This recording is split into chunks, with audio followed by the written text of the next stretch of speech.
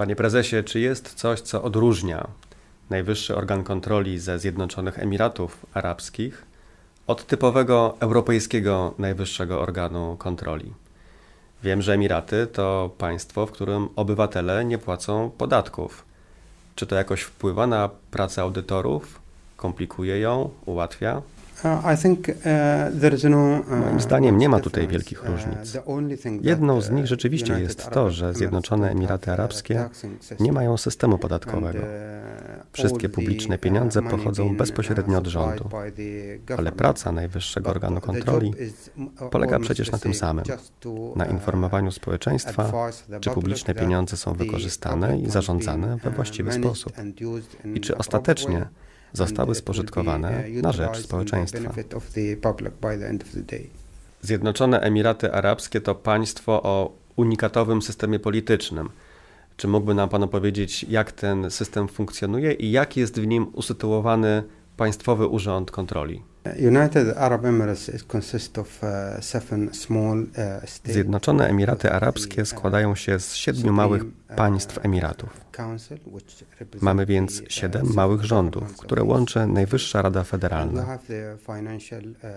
Oprócz tego mamy też Federalną Radę Narodową i to właśnie jej podlegamy jako organ kontroli.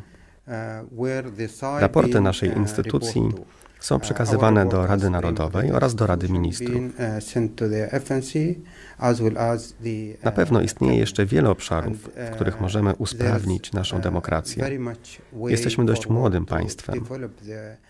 Zjednoczone Emiraty Arabskie mają tylko 35 lat. Państwowy Urząd Kontroli pracuje na przykład bardzo ciężko nad ujednoliceniem finansowego systemu zarządzania w państwie uh,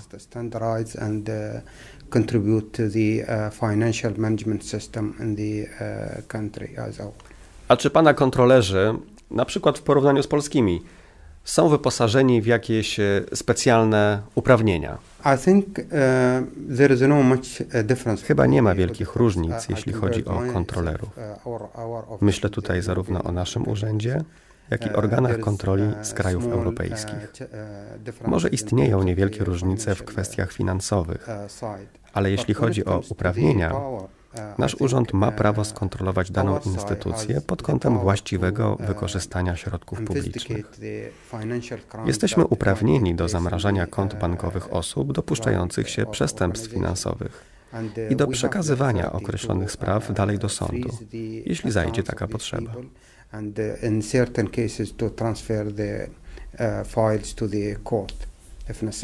Wspomniał Pan o zamrażaniu kont bankowych, a czy Pana kontrolerzy mogą kontrolować same banki? Uh, Jak już wspomniałem, mamy w Emiratach siedem małych rządów. Mój urząd odpowiada tylko za kontrolę na poziomie federalnym. Poszczególne rządy Emiratów mają swoje niezależne organy kontroli, które zajmują się uh, sprawami lokalnymi. Uh, Natomiast my, owszem, kontrolujemy bank centralny, ale nie prowadzimy kontroli w innych bankach. Czy mógłby Pan opowiedzieć nam o najtrudniejszej kontroli, z jaką przyszło zmierzyć się ostatnio Pana urzędowi? Uh, ostatnio próbowaliśmy wdrożyć kontrolę wykonania zadań, uh, a to w Zjednoczonych Emiratach Arabskich zupełnie nowa forma uh, kontroli. Ale udało nam się. Skupiliśmy się na konkretnych obszarach, na przykład co zrobił rząd, by przeciwdziałać cukrzycy. Zjednoczone Emiraty Arabskie zajmują niestety drugie miejsce na świecie pod względem zachorowalności na tę chorobę. Sprawdzaliśmy więc działania Ministerstwa Zdrowia na rzecz kampanii wymierzonej w cukrzycę. Moim zdaniem udało nam się przekazać rządowi i Ministerstwu Zdrowia wartościową informację zwrotną dotyczącą ich wysiłków oraz tego, jak jeszcze efektywniej wykorzystać środki publiczne w przyszłości. W czasie naszej wizyty w Polsce, tutaj w Najwyższej Izbie Kontroli, chcielibyśmy dowiedzieć się jak najwięcej o kontroli wykonania zadań i skorzystać z Waszych doświadczeń w tym zakresie.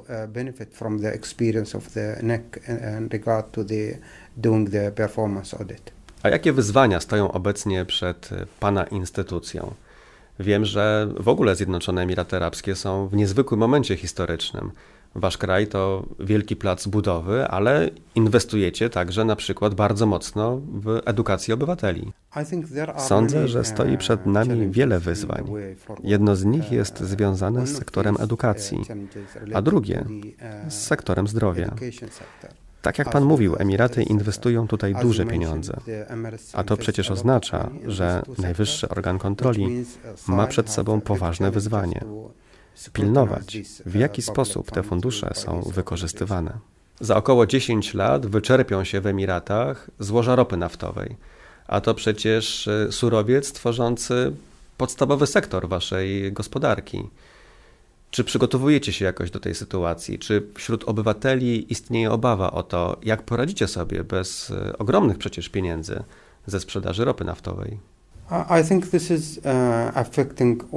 Myślę, że problem wyczerpujących się zasobów dotyczy całego świata, nie tylko Zjednoczonych Emiratów Arabskich. I każdy kraj podejmuje jakieś działania w tym zakresie. A Zjednoczone Emiraty Arabskie są na szczęście świadome tego problemu prawie od samego początku, powiedziałbym od wczesnych lat 70.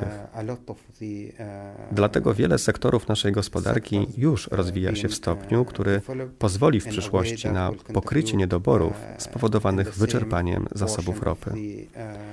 Już obecnie ponad 60% dochodu państwa pochodzi z sektorów innych niż sektor ropy naftowej. Ale oczywiście to bardzo ważne, by mieć świadomość, że w przyszłości zaczną pojawiać się problemy z wyczerpywaniem się zasobów ropy. A czy jest Pan zadowolony ze swojej pracy? Czy ma Pan takie poczucie, że wysiłek Pana instytucji przynosi jakieś efekty? I think it does. Myślę, że tak. Uh, Jestem zadowolony ze swojej pracy. Uh, Cieszę się, że mogę uh, wykonywać dobrą robotę dla mojego kraju. Dzięki raportom sporządzanym przez nasz urząd, dzięki temu, że inni wykorzystują te raporty, czuję, że mogę coś zmienić, zrobić coś dla dobra społeczeństwa. Wie pan, ludzie w Emiratach postrzegają najwyższy organ kontroli jako źródło wsparcia, siły, jako instytucję, która rozlicza rząd z publicznych pieniędzy. To daje mi dużą satysfakcję.